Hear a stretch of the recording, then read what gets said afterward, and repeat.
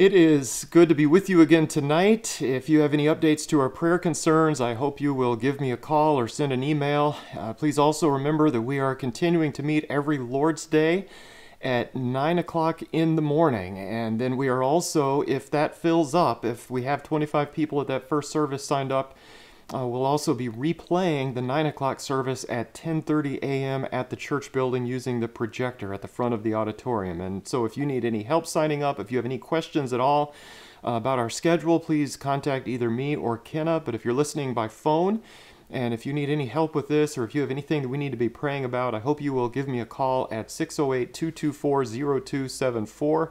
And even though we do not have a, a live in-person service at 10:30, even though we'll be replaying that on the projector, uh, our phone and our online options will be the same. So that'll go on as scheduled. So no changes there. Uh, tonight we are getting back to our study of the book of Luke. And by way of review, and in case you might be joining us for the first time, we know Luke is a Gentile. He is a medical doctor. He writes both Luke and Acts to a man by the name of Theophilus. He makes a point of writing in chronological order. So almost all of Luke is in just perfect chronological order. He does a uh, well researched account, we might say. That was uh, his goal in doing this. Tonight we have a rare exception to that, as the Lord's Supper, the institution of the Lord's Supper, is a little bit out of order in Luke, which is interesting. And I think that he does that for a reason. We'll get back to that next week. So we're going to leave out a few verses tonight and come back to those uh, in a little bit of a better chronological order next week if the Lord wills. Uh, we also know Luke includes a number of people who are often overlooked in the ancient world and sometimes oppressed. And we're talking there about women and widows, Gentiles, at least in terms of the Jewish people. They were often overlooked and ignored and abused. Uh, Samaritans, for sure, that was a, a racial ethnic group that was uh, very often, they were often abused by the Jewish people, as well as the sick and the poor. And Luke does a, a very good job of including a lot of these groups that the other gospel accounts really overlook as well. In our study tonight, we move into what happens on Wednesday before the Lord's crucifixion. And tonight we're going to pick up with the last few verses of Luke chapter 21. So we'll be starting tonight in Luke 21:37 and we'll start in Luke 21:37 in just a moment. Uh, by way of review, last week we looked at Jesus' predictions concerning the destruction of Jerusalem as well as the end of the age. And by way of reminder, if we remember anything from last week, I would try to emphasize look at Matthew's account. And so if you start in Luke and try to figure this out, the difference between the destruction of Jerusalem and the Lord's second coming, uh, it can be, be a bit confusing because there is some symbolic or figurative language worked in there. So my suggestion in studying uh, Luke chapter 21 is to go back and start with Matthew. Look at Matthew chapter 24. And you may remember last week we had some of the text from Matthew 24 on the screen. And we're dealing with a number of questions. The disciples, I don't think, even realize that they're asking multiple questions. But when will the signs of these things be? When will this thing take place? They're referring to the destruction of Jerusalem there. But then when will the end of the age be? Well, they thought those were one and the same. Well, they aren't. And of course, Jesus gave some signs for the destruction of Jerusalem wars and rumors of wars and all of these other things. When you see these signs take place, then it's time to run for the hills. Get out of there so that you're not caught up in the destruction of the city of Jerusalem. And of course, from history, we know that uh, Christians did, in fact, flee. They listened to those warnings, they looked at the signs, and they did, in fact, get out of there.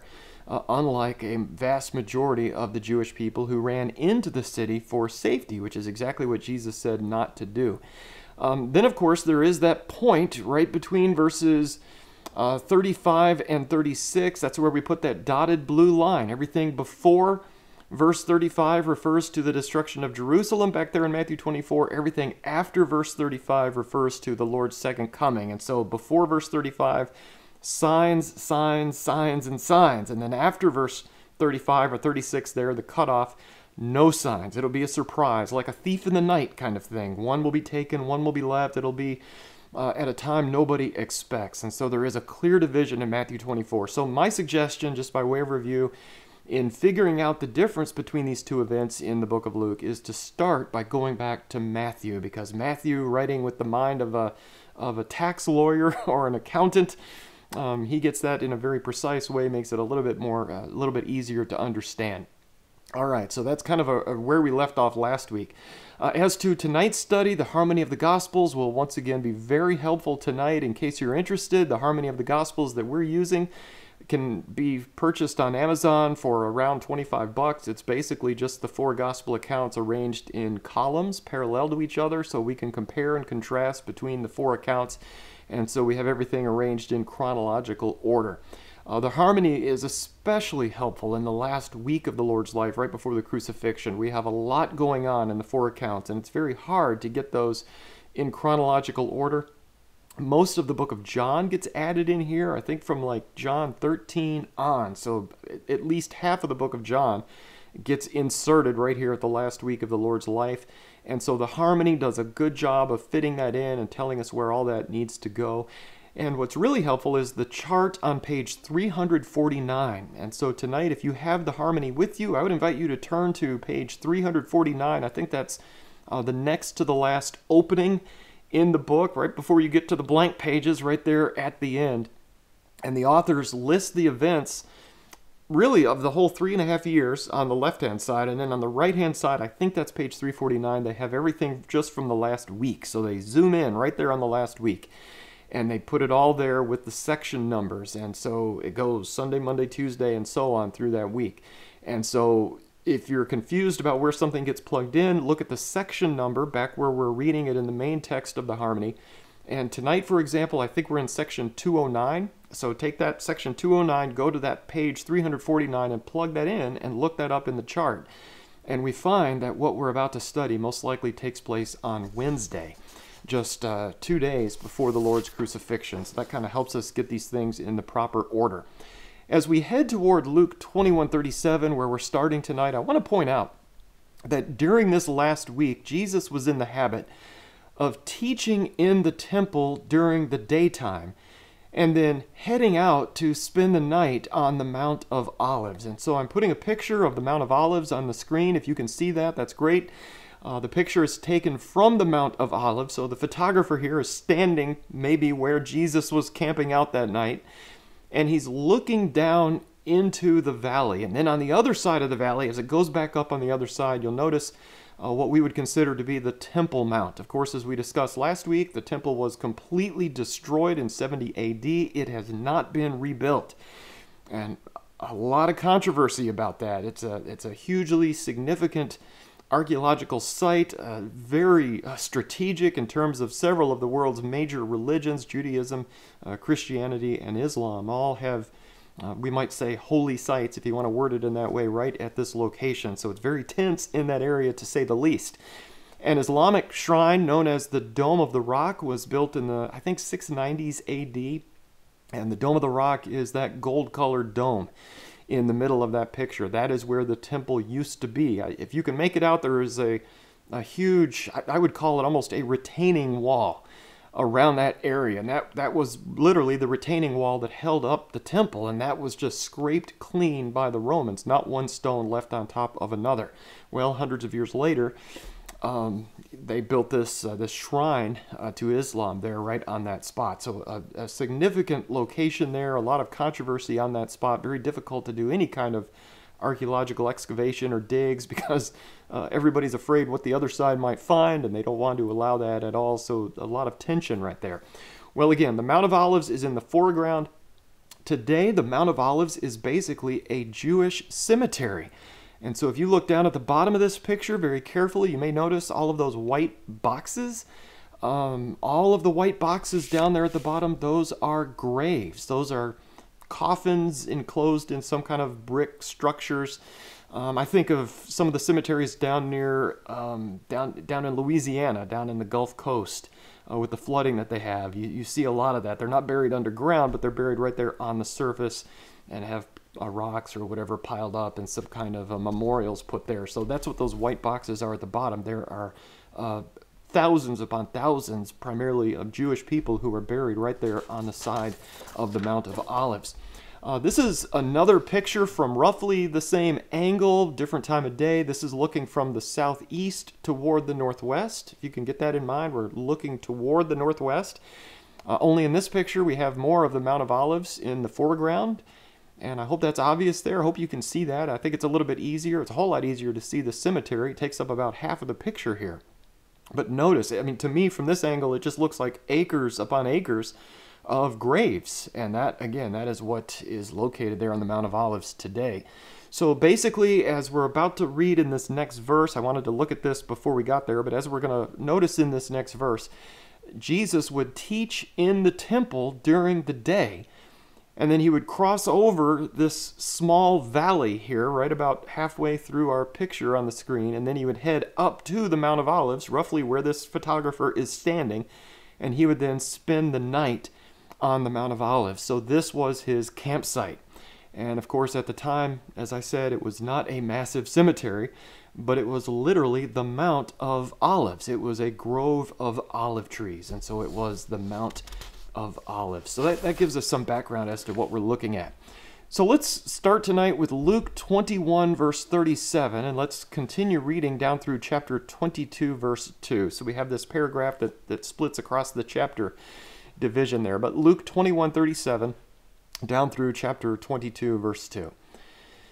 Now during the day he was teaching in the temple but at evening he would go out and spend the night on the mount that is called Olivet.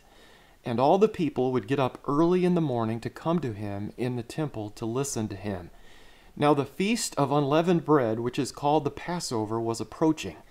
The chief priest and the scribes were seeking how they might put him to death, for they were afraid of the people.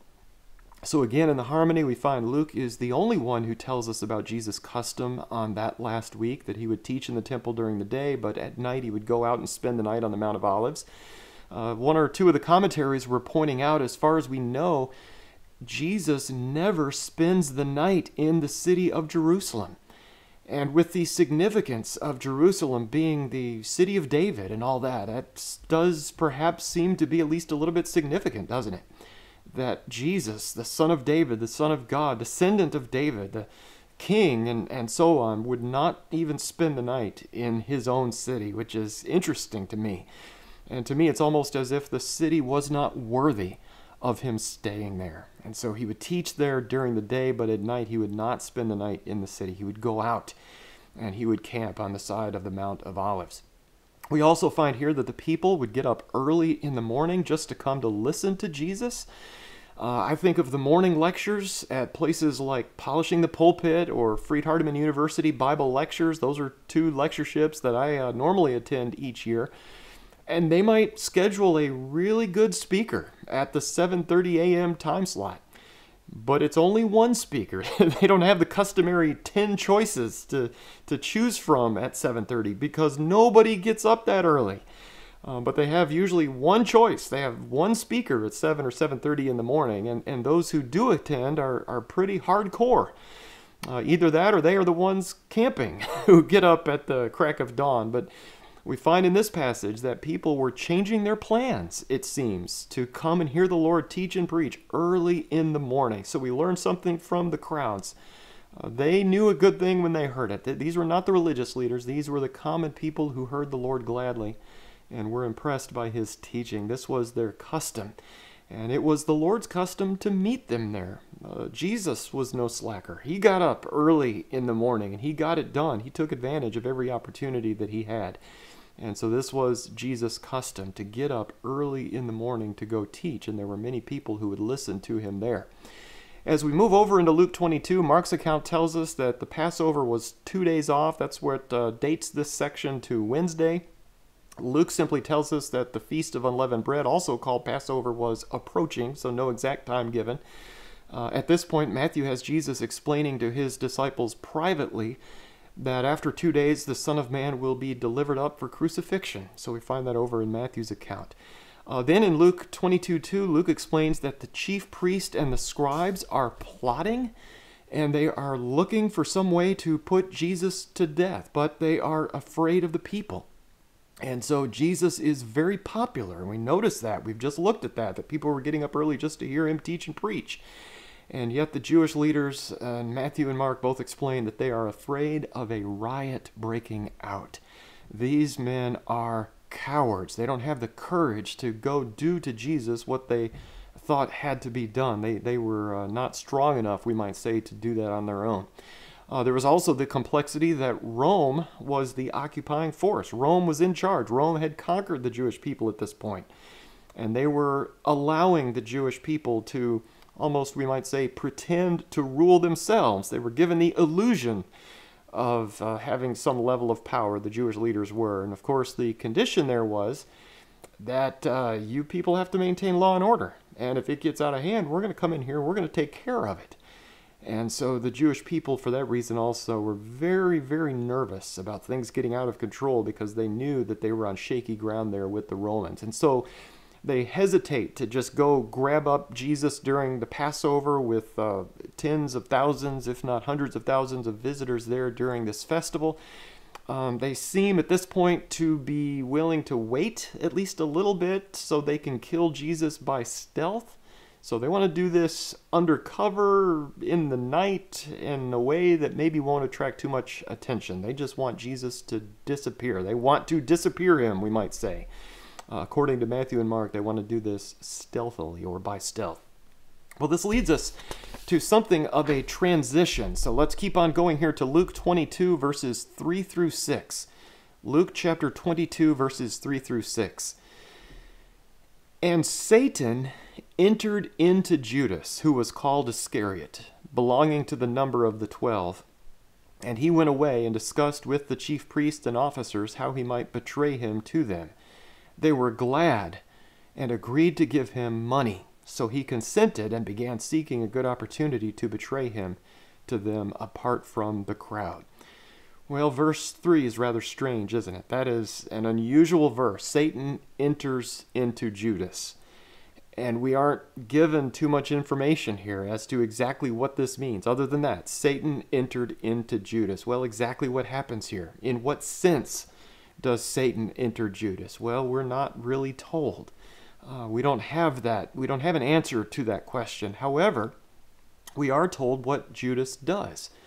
He heads off to the chief priest and he formulates this plan, and this plan involves money. And so it seems that Satan perhaps get in, gets involved here through some kind of money based temptation. Does that ever happen today? Does Satan get to us through money? Absolutely, he does. And that seems to be exactly how uh, temptation works today. Satan will exploit our weaknesses. I think we might say Satan probably knows our weaknesses even better than we do. And certainly that was the case with Judas, and that seems to be the way that it, that it goes down here. Uh, if you remember back in John 11 57, the chief priests and the Pharisees had given orders that if anyone knew where Jesus was, they were to report it so that they might seize him. Uh, so some of the commentaries have suggested that Judas might have been a little bit torn between obeying the authorities and obeying the Lord here. So a little bit of a, a division in his loyalty. So obviously he's with Jesus. He's one of the twelve. On the other hand, he's also a, a, faithful Jewish person, as far as most people know outwardly. And so he had some respect for the Jewish authorities, and they had called for people to turn the Lord in. And so there is this back and forth. Do I follow Jesus? Do I follow these religious and civil leaders? So that has been one possibility that uh, has led to people to come to some understanding of how Satan entered into Judas, at least some of the struggle that might have been going on in his mind. Uh, some have suggested that Judas was a little bit disappointed after the triumphal entry that happened just a few days before this on Sunday, um, that Jesus didn't come to rule as an earthly king. And so Judas was let down in a sense. He'd been with Jesus for three and a half years. The kingdom's coming, it's coming, it's almost here. And then Jesus enters into Jerusalem and he's not king. Nothing happened. What in the world? And so this isn't happening the way I imagined it. And so maybe Judas was disillusioned, and maybe that leads to uh, this sense that he needs to switch sides and turn against Jesus. Uh, some have suggested that Judas was upset about being publicly reprimanded by the Lord not too long before this. You may remember um, in the situation with the woman anointing Jesus with the expensive perfume. Judas objected to that you know, this could have been used to feed the poor or whatever. And you may remember Jesus corrected him publicly, called him out on it in front of everybody. And people think that, well, maybe that hurt his feelings and that kind of turned him to the other side. Uh, but ultimately, though, it is it seems to be greed that brings Judas down. It is the temptation of money. And Satan sees that weakness and he exploits it. And remember, as I just said, this is not new for Judas. It, going back to that passage in John 12, when the woman anointed Jesus with the expensive perfume and Judas was upset, and he says, Why then was this perfume not sold for 300 denarii and given to poor people? You know, 300 denarii, a denarius is a day's wage, so 300 days' wages. We're, we're talking like 50, 60,000 dollars of perfume in today's economy. And, and Judas says, Well, we could have fed a lot of poor people with that.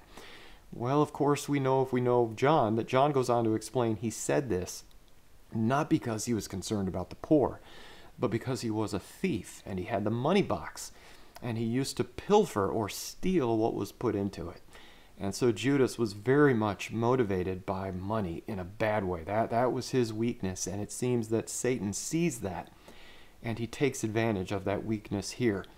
At this point, both Mark and Luke tell us that the chief priests are glad when they come to an agreement. How strange that is to be glad to arrange somebody's murder. It does not make sense to us. And yet we see the same thing today. We see people gleefully happy about various forms of murder from time to time. But uh, to these people, killing Jesus is about to make their lives a lot easier. We'll finally get him out of here. Jesus is a problem, and killing him gets rid of the problem, at least the way that they see it. If we were together, I might ask, why didn't the chief priest just arrest Jesus when he was teaching in the temple? After all, he's there every single day. They're in charge of the temple. Why not just do it? You know, why work out this plan behind the scenes with one of the apostles? Why is this betrayal even necessary? There are a few things that we could say there, but again, to me, it seems the reason goes back to these people being scared of the crowds. They are cowards, and they are scared of causing the riot. They're scared of what the Romans might do. And so they need this thing to happen at night, away from the crowds, when Jesus is not in the city. At this point, after coming to an agreement, Judas starts looking for an opportunity. So now he's actively looking for a chance to obey or to uh, to um, deny the Lord or to betray the Lord, we should say. And Luke specifically says that he's looking for an opportunity to do this apart from the crowd. So now Judas is thinking the same way that the uh, Jewish leaders are thinking. So this needs to be done quietly uh, perhaps in the middle of the night. Uh, Matthew also tells us that they agree to an amount, so that the amount is in Matthew, but not here 30 pieces of silver. And they actually weigh out the money at this point. They, they weigh out the money and they give it to Judas. Um, there's been some discussion about the 30 pieces of silver. Exactly, is there any significance to that amount since it is listed in Matthew? And, and he, well, Matthew, he's probably uh, calculating the taxes on an amount like that as the accountant or as the tax collector. But he, he does, it's interesting. Um, Luke kind of doesn't care about the exact figure. Matthew, he's thinking about the figure. He's got that 30 pieces of silver. Uh, there is a prophecy over in Zechariah chapter 11, verse 12, that mentions 30 shekels of silver. And um, we know from history, some have looked it up and have said this is roughly the price of a slave. So if you are buying and selling human beings, 30 pieces of silver was the going rate for a, a human purchase back in those days. So perhaps that is one reason. Um, but anyway, I, I find it interesting that it is not hundreds of pounds of gold, is it? It's, it's not anything that anybody might consider to be a good deal in that sense. It's not showing the worth of Jesus, but I guess my point here is, is pointing out that it is a low amount, the price of purchasing a slave. Uh, it's not a massive amount. It's not like $50,000 or 300 denarii or whatever, but it is uh, 30 pieces of, of silver. Okay, let's keep on going then to uh, Luke chapter 22, verses 7 through 16. Luke 22, verses 7 through 16. Then came the first day of unleavened bread on which the Passover lamb had to be sacrificed. And Jesus sent Peter and John, saying, Go and prepare the Passover for us, so that we may eat it. They said to him, Where do you want us to prepare it? And he said to them, When you have entered the city, a man will meet you, carrying a pitcher of water. Follow him into the house that he enters. And you shall say to the owner of the house, The teacher says to you, where is the guest room in which I may eat the Passover with my disciples? and he will show you a large furnished upper room. Prepare it there. And they left and found everything just as he had told them, and they prepared the Passover. When the hour had come, he reclined at the table, and the apostles with him, and he said to them, I have earnestly desired to eat this Passover with you before I suffer. For I say to you, I shall never again eat it until it is fulfilled in the kingdom of God. So now we come to the first day of unleavened bread. This is the day the people would prepare for the big Passover meal. They would prepare for this meal uh, during the day. On Thursday, they would eat the meal in the evening. As I understand it, there's been a lot of discussion on the timeline here. Uh, remember, for Jewish people, their day started at 6 p.m. at sundown. Um, so they are now getting ready for this evening meal during the day on Thursday. Uh, Luke is the only one who tells us that Peter and John are sent on this mission, and the mission is get dinner ready. get this going, and, and they want to know where to do this. It seems that Jesus has a plan. Uh, Jesus already has something lined up, apparently. Uh, this is a little bit similar to the situation with the colt just from a few days before this. It sounds a little bit familiar, doesn't it? A little bit of a parallel there. Peter and John are to head into Jerusalem they are to look for a guy carrying a pitcher of water. He will meet you. You need to follow him to a house. Uh, some have said it was customary for women to carry water, therefore, it would have been unusual for a man, so that's why this man would have stood out. I don't know if that's the case, if this was some kind of secret sign, if this was just the person that they would meet, I, I don't know. Uh, but when they find the owner of the house, they're to ask him about the guest room, and they are to ask on behalf of the teacher which is interesting. There are tens of thousands of teachers in this area, but the teacher needs a room. Uh, Matthew is just a little bit different. They are to say to the owner, The teacher says, My time is at hand. I am to keep the Passover at your house with my disciples. Well, we need to remember the Passover is a huge deal. It's a big holiday, one of the big three. Jerusalem would have been jam packed with pilgrims, with people from all over the world. Uh, we might compare it to Thanksgiving or Christmas here in our culture. I mean, you aren't going to find a place for 13 people to eat a huge, elaborate dinner with just a few hours' notice, but that's what happens. And so Jesus has clearly made arrangements beforehand, or this is somehow miraculously prepared, we aren't told. Uh, another note Jesus is not stealing the house, is he? He's not squatting on this property. He's not taking it over, just as he does not steal the horse a few days before this. But Jesus has people, doesn't he? He has people who are interested in his mission, who are on the, the same team, and who are his supporters. And so Jesus has a homeowner in this city who is already willing to let the Lord use his home for this very significant meal. And it sounds as if Jesus has clearly uh, prepped the man about his time coming at some point. And so there has been some perhaps private teaching between Jesus and the homeowner. And so now the message is, my time is at hand. What we talked about is now upon us. This is it. And uh, the time that we talked about some time ago is now here. I would also point out we have a reminder here that Jesus is pretty much homeless.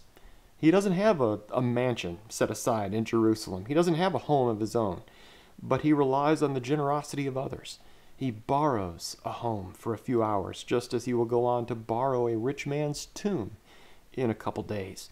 And not only is he borrowing the home itself, we also find in verse 12 that the home is already furnished. We think about a furnished apartment. It's not just an empty house, but everything you need is already there. It's ready and waiting. And um, and Peter and John need all they need to do is just show up and start getting this meal together. In verse 13, Peter and John head out. They find everything exactly as Jesus had told them it would be, and then they prepare the Passover. Uh, starting in verse 14, it is time for dinner. So this is it. This is the Lord's last Passover on this earth. And when they recline at the table, notice how Jesus opens the meal. Jesus says, I have earnestly desired to eat this Passover with you before I suffer. Those are his opening words over the dinner table. When Jesus uses the word that we translate uh, here as earnestly desire, I always find it interesting that it's the same word that we also translate elsewhere as lust.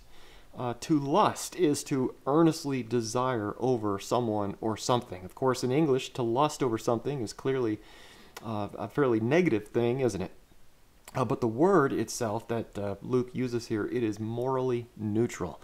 we can earnestly desire something in a good way or in a bad way. And obviously, here, Jesus was earnestly desiring, he was really looking forward to being together with his disciples for this Passover meal. This was an incredibly personal event. He had been with them for three and a half years since he chose them to be his apostles, and now this this is the last night together as a group. And so that's what's going on here in this passage. This is his last one. Notice he will not eat this meal again until it is fulfilled in the kingdom of God. He doesn't elaborate, he doesn't really explain exactly what that means, but he just leaves it right there. This is a significant meal.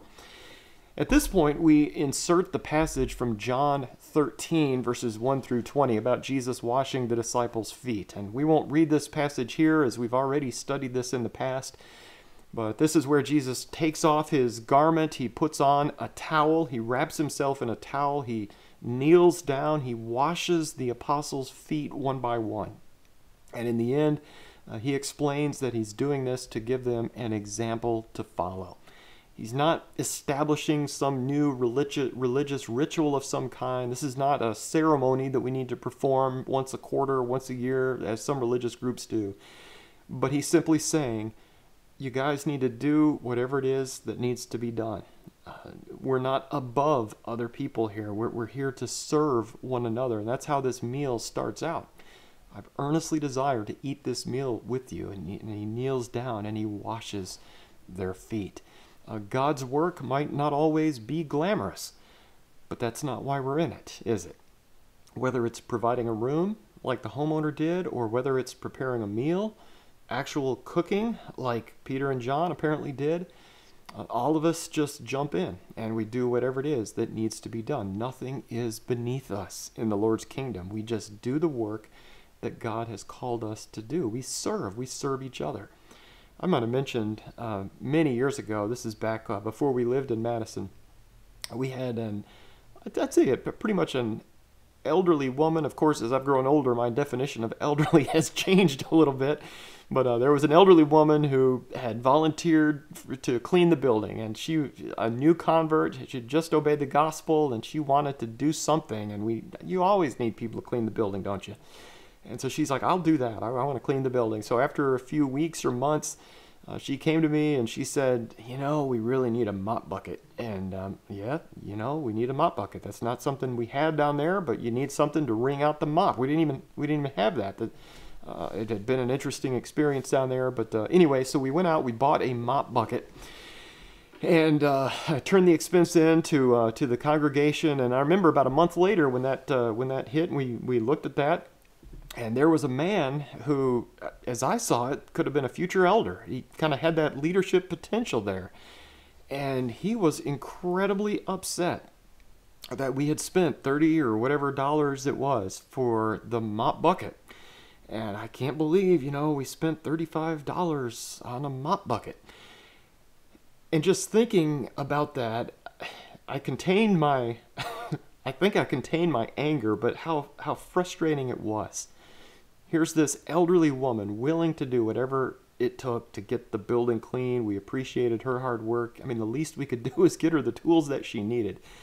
And at that moment, I remember thinking to myself in terms of leadership in the Lord's church, I remember thinking, I actually wrote it down later, an elder needs to know not so much how much the mop bucket costs, as much as he needs to know how the mop handle feels. Does that make sense?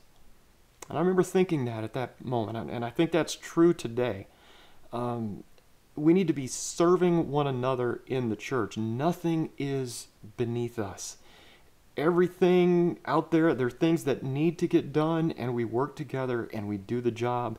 And uh, that's kind of one lesson. I always think about that when we just briefly look at this uh, situation with Jesus washing the apostles' feet. Of course, Peter didn't want him to wash his feet, did he? And then there was that little, interchange or a little exchange there. And uh, but anyway, we could go back and look at that if we wanted to. But let's get back to uh, the book of Luke. And just a note here in Luke, we are skipping Luke 22, 17 through 20 for now, because in a rare occurrence, as I mentioned earlier, Luke seems to ever so slightly deviate from chronological order. It's all in the same night, So it's not far off. It, it's right here. We're, we're on Thursday evening. Um, but in the harmony, we go from Jesus washing the disciples' feet to Jesus' identification of Judas as the betrayer. Um, only because this seems to happen earlier in the dinner before he institutes the Lord's Supper. So we're just doing a little flip flop here. We're going to do Luke uh, 22, 21 through 23 before we come back to verses 17 through 20 next week, if the Lord will. So we're not skipping anything permanently, we're just uh, mixing up our order here. So Luke 22, verses 21 through 23. But behold, the hand of the one betraying me is with mine on the table. For indeed the Son of Man is going as it has been determined. But woe to that man by whom he is betrayed. And they began to discuss among themselves which one of them it might be who is going to do this thing. If you're following along in the harmony, you'll notice this is one of those events that is in all four gospel accounts. We have four parallel columns here. In Luke, as they are eating, notice here Jesus says, The hand of the one betraying him is with his on the table. And here Luke adds something not found in the other accounts in verse 22 that the Son of Man is going just as it has been determined. But woe to that man by whom he is betrayed. In other words, it has to happen. Somebody has to do it. Somebody's going to betray the Lord. But you really don't want to be that guy. You don't want to be the guy who does it. And at this point, everybody tries to figure out who he's talking about. It's one of their own. He's in the inner circle of apostles here, he's, he's one of the twelve.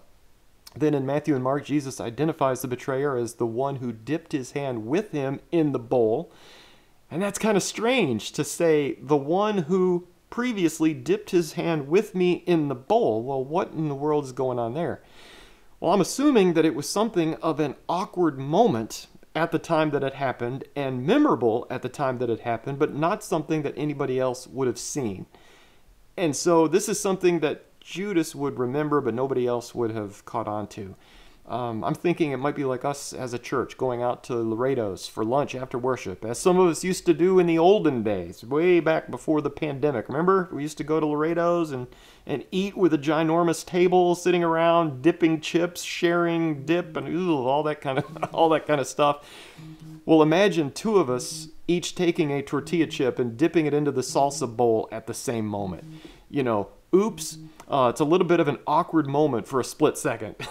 ooh, you know, okay, uh, but you know, we move on. Not a big deal. It's just kind of that's we kind of we touch chips, and and yet 15 minutes later, when somebody refers to it, only the two people who did it would remember, and that seems to be what's going on here. This is Jesus' sign to Judas. I know that you're the one, and yet he doesn't call him out publicly. It's it's a private signal between them.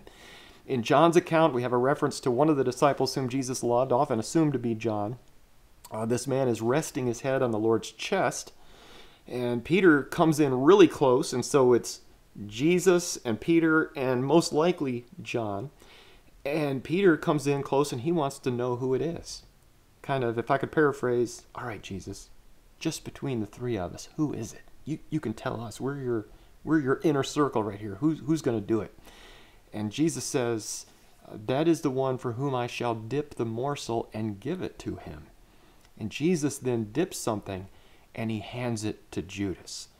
And so what's going on there is Jesus is sharing this with Peter and the disciple whom he loves, again, most likely John, that Judas is the betrayer. So he does uh, let at least two of his disciples in on this secret. In Matthew's account, Judas speaks up at some point in here and says, Surely it is not I, Rabbi. And Jesus answers and says, You have said it yourself. That's very unusual, too, isn't it? He doesn't really say yes or no, he just said, You said it, and leaves it there. At this point in John, after Judas had eaten that piece of food Jesus gave to him, Jesus says, What you do, do quickly uh, John tells us that nobody else really knew what was going on with that. Uh, some assumed that Jesus had told him to go purchase something, you know, go buy us some napkins or, or go get us whatever for the meal. They just assumed that he was doing that or that he was telling him to go give something to the poor since Judas obviously had the money box. And it's interesting to me that just from a day to day operations point of view, Jesus could miraculously create bread, couldn't he? He could create fish. He could create wine out of water and and all that. And yet they had an actual treasury, didn't they? Jesus didn't just go around miraculously doing things financially, but they had an actual treasury. They had an actual box and it was funded by donations. We have the list of several women who were primary contributors to that treasury. And the funds from that box took care of their daily expenses, and they were also used to take care of the poor. And that's always interesting to me, just to see how that worked financially, Judas being the treasurer of that group. John tells us that Judas leaves at this point, and that it, it is that it is night now. Uh, with that in mind, it seems like a good place for us to call it a night, if, if, I dare say that. Uh, but let's pause here and then let's pick up next week with Luke 22 24, and then we'll also backtrack and we'll look at the Lord's Supper at that point as well. Uh, thank you for being with us tonight, either online or on the phone.